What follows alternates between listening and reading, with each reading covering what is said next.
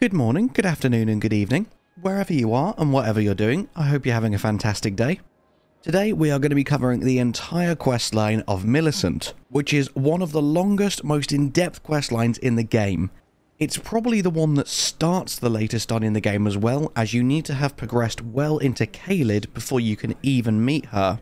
And it doesn't end until you have practically finished the game and defeated the hardest optional boss in the game. So let's get right into it and see if we can complete this quest line together. I meet you now at Gowie's... Gowie... Gowie, Gowie Shack. I meet you at Gary's Shack. fuck's sake. I meet you now at Gary's Shack, which is east of the Lake of Aeonia, and in between the town of Sellia to the north and the Sellia Gateway to the south. When you meet Gary, he will tell you about Millicent, who is severely infected with scarlet rot, and wants you to go and find an unalloyed gold needle so he can hopefully cure her.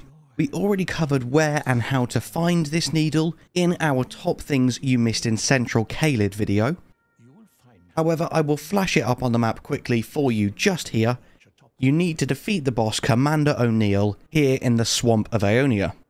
Bring it back to Gary and he'll reward you by revealing to you the secret of Sellia. For the next part of the quest, we need to progress through the town of Sellia so that we can go and meet Millicent. As I'm sprinting through the town and showing you where we need to go, you'll see that everything is currently sealed off. Again, we've already covered how to tackle Sellia during the Things You Missed series, but a very brief overview. There are four towers with four altars that you need to light, and they will break the seals in the town, allowing you to pass through just here. So once you've done that, I'll meet you back here, and we'll go out the other side of the town and find Millicent. Once you've lit this site of grace, start heading up the mountains. Just be careful of the giant steel balls of doom that will spawn in and start rolling towards you, because depending on your health pool, they can one-shot you. Once you get to the top, just run through this graveyard. There's two kindreds of rot at the entrance to this church that you can take out. Then once you're in the church and you've grabbed all the loot that you want to get, now you can engage in conversation with Millicent. This is a long quest line and I don't want to make the video too long and too tedious for you, so I'll skip through some of this earlier dialogue and let you experience it for yourself, because now you just need to go back and forth and back and forth between Millicent and Gowry. Once you're back at him, this will have given him enough time to do what he needed to do to the needle, and it can now be used to stall the rotting sickness. Go back to Millicent and ask her to stab herself. Go back to Gary and tell him that she has stabbed herself. And now, as a reward, you can purchase a few sorceries from him. Go back to Millicent once again and she will finally reveal her name to you. Then go back to Gary's shack after resting at a site of grace she will now be here as well and tell you a little bit more about her quest. The next thing we need to do is go to the Shaded Castle, so I will meet you there. Once you're here and you've got the Shaded Castle Ramparts site of Grace, we need to head to a tower on the northwestern ramparts. So first things first, head in towards the centre and you'll easily see this ladder from a mile off. Climb up the ladder and then just follow the ramparts round to the left. You'll have to run past all these zombies and then eventually you'll get to the tower I was talking about. Clear out the Clean Rot Knight in front of it, and now you can loot the Valkyrie's prosthesis. At this point I keep trying to show you the map so I can show you exactly where in the castle I am, but it keeps saying I'm in combat. So eventually, here we go, now it lets me show you the map and you can see exactly where I am. So now that you've grabbed that, we need to go back to the Altus Plateau and I'll meet you at the Erdtree Gazing Hill site of Grace. Once you're here, just head slightly north and you'll find Millicent right here. At this point, you can give her the prosthesis, and after you've exhausted her dialogue, she will move on. Just a quick side note here, before you give her the prosthesis, at this point in her quest line, she will now be available to be summoned to help you with the Magma Wyrm Makar boss fight. Though she's really not needed because Magma Wyrm Makar isn't that hard of a boss fight anyway, and you can also already summon Blackguard Boggart and Great Horned Tragoth.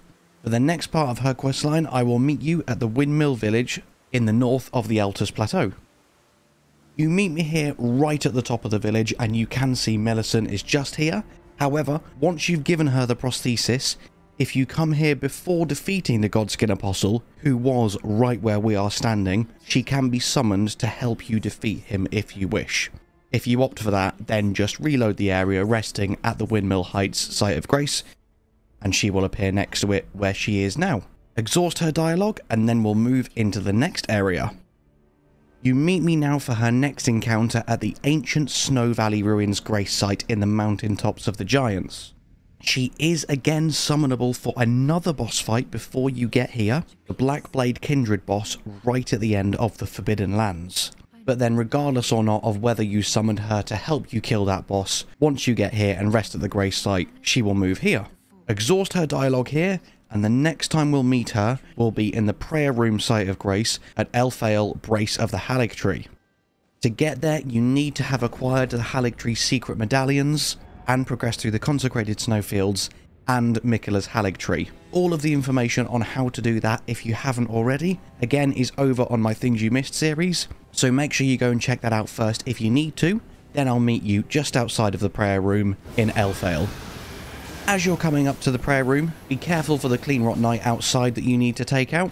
And then, once again, all you need to do here is just exhaust her dialogue so that we can then go and progress the next part of her questline. However, she will still stay here until we've done one more key thing, so let's move straight into that now. You meet me now at the drainage channel site of Grace that you will naturally discover during your progression of this area. Once you get here, head back the way you came and up the ladder, go through the door and then head right up this hill. Once you've dealt with the Kindred of Rot, you can traverse this gap over this tree branch, and on the other side, prepare yourself for one of the toughest ulcerated tree spirit boss fights in the game. I've heard it is possible to cheese him, so if you're struggling with him, I'm sure there's plenty of footage online talking you through how to do that. Once he's dead, there will be two summon signs, one to challenge Millicent and one to help her defeat her four sisters. If you want to finish her questline, you have to help her. All you get when you challenge her is Millicent's prosthesis, but you won't receive the unalloyed gold needle which you need to finish the questline. So summon yourself into her world and help her defeat her four sisters. Or, as you see in my case here, stand around and let her kill them all herself, because you're useless and she is incredible.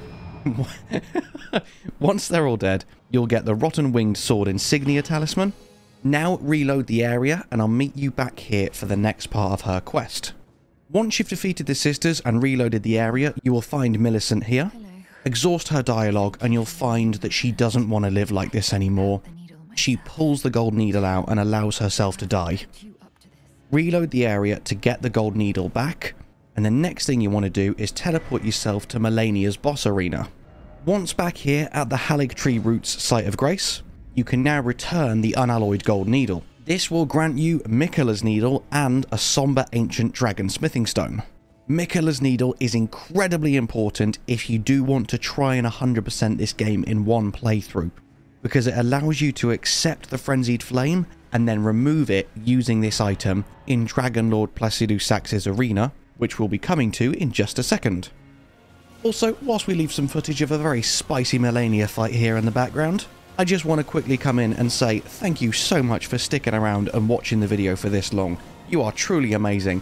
And if you are still enjoying it, please consider giving it a like and subscribing to the channel, because it seriously helps the YouTube algorithm, spread the word of Dom's Roundtable, and help us find new audience. So thank you so much. Now I meet you in the boss arena for Dragonlord Placidusax, just as we are defeating him. If you want to know how to get here and how to do this boss fight, make sure you go and check out the Things You Missed series for the Crumbling Farum Azula. And now we can use Miquella's Needle to tame the Flame of Frenzy. Side note here though, you don't have to kill him to do this. You can literally enter into the boss arena, use the needle and teleport out before you even aggro him. So if you are struggling with this boss fight, but you do want to revert the Flame of Frenzy, you can literally enter in, use the needle, and get out. So now the final thing to do is teleport back to Central Caelid and start heading back to Gowry's shack. Just as we get there, you'll see the giant Caelid dog sat at the front. Now, I always used to kill this dog on sight, before a very kind person in the comments of a previous video pointed out that this dog isn't actually hostile. As you start running up to it and running past it, it does move. So just because it stood up and looked at me, I naturally assumed that it was going to be hostile. But as you see here, you can just run past it and ignore it. Now that we're at Gowry, talk to him and tell him the news that both Millicent and Melania are dead. He will be absolutely distraught and furious with them. And now that his usefulness has come to an end, kill him. Do it. kill him. now that he's dead, we get the Flock's Canvas Talisman and his bell bearing. This is a super powered version of the Faithful's Canvas Talisman and greatly increases the potency of incantations. And then, of course, his bell bearing can be given to the Twin Maiden Husks to purchase any of his spells that you didn't purchase earlier. And now, whilst I kill his dog as well, I'd just like to say thank you as always so much for watching. I hope you have an amazing day, and I'll see you in the next one. Bye bye.